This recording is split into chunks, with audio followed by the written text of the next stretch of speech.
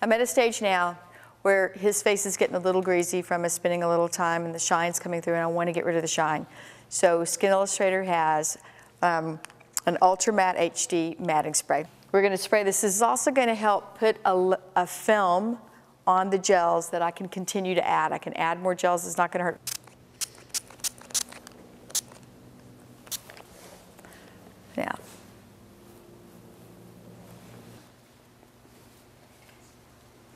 Since Shine is um, another makeup tool that you can use to show highlights, if I mat everything and then I can put the shine specifically where I want it and it'll give highs and lows.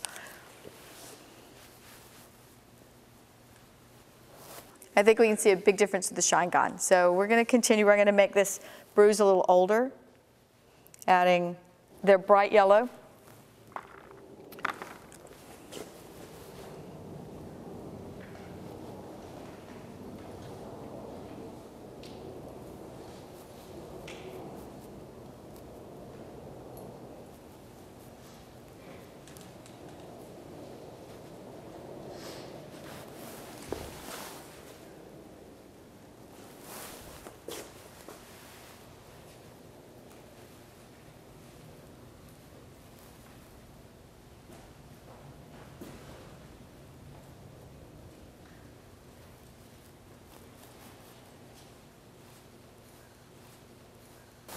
Another great color is rust.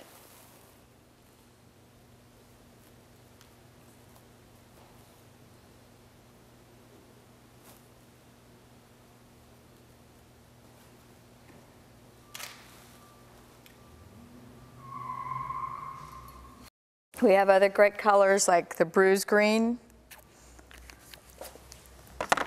and teal, and there's also the bruised blue.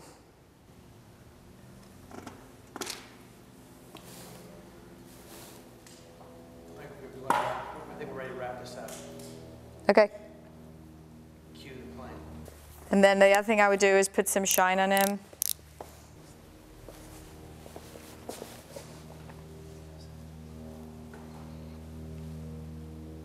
Just a simple character makeup with a gelatin appliance using both uh, gels from Skin Illustrator and Skin Illustrator um, colors.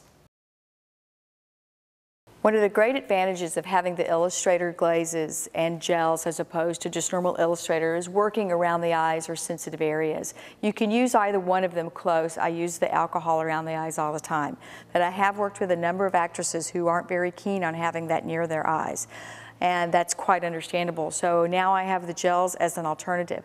The other thing is it allows you to use both the gels and the Illustrator in a layering properties because you have a water base and then you have an alcohol base. And that's also advantageous as to how you build the work you're doing.